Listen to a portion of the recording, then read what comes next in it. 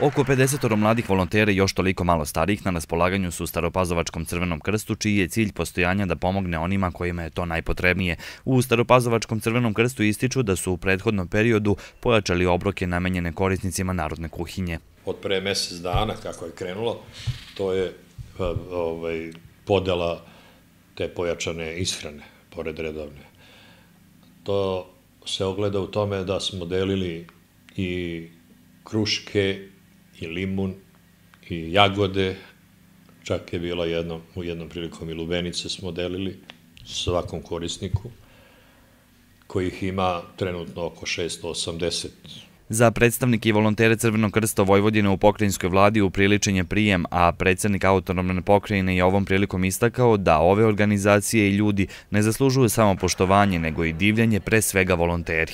Često u veoma teškim uslovima, kada su elementarne nepogode, katastrofe, poplave, požari i u mnogim drugim teškim situacijama, pružaju najbolje, izdvajaju deo sebe i pokušavaju i čine to sa uspehom da spašavaju ljude, da im pružaju pomoć. U pokrinjskoj vladi ističu da su u prethodne tri godine povećana izdvanja za redovan rad Crvenog krsta Vojvodine sa 10 na 15 miliona dinara, a ove godine izdvojeno je 18 miliona dinara.